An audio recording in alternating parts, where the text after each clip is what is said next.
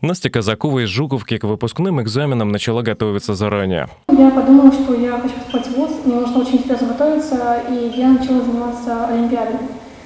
Я 9 класс посвятила, наверное, влитию в это олимпиадное движение и поиску материала, по которому я буду заниматься. Сначала смотрела олимпиадные задания 9 класса, 8 там, такого, мне было очень сложно на самом деле. Я занималась математикой, физикой и начинала изучать олимпиадное программирование.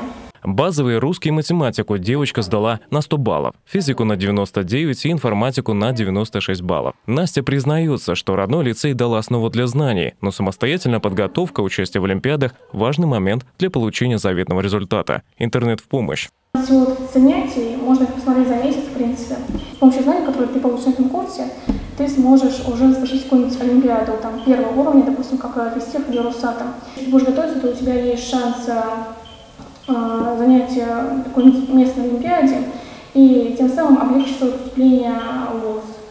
Просто многие ребята знают, знают про эту схему, и мне кажется, что Олимпиада на самом деле очень сложно, но на самом деле это не так. Одиннадцатый класс Настя провела в Москве в специализированном учебно-научном центре МГУ. Общение с единомышленниками, углубленная программа школьных предметов. Все это также способствовало получению новых знаний. Но именно в родном лицее в Жуковке Настю гордо называют бриллиантом. Такие высочайшие результаты, э, которые она показала на едином государственном экзамене, это закономерный результат того кропотливого ежедневного труда а, в течение всех 11 лет. Потому что Анастасия поистине, да, это, это не знаю, это бриллиант, уникум. Настя – кандидат в мастера спорта по шашкам, а также с 15 лет увлекается программированием. Именно с этой современной сферой деятельности она хочет связать не только свою профессию, но и дальнейшую жизнь. Я интересуюсь машинным обучением.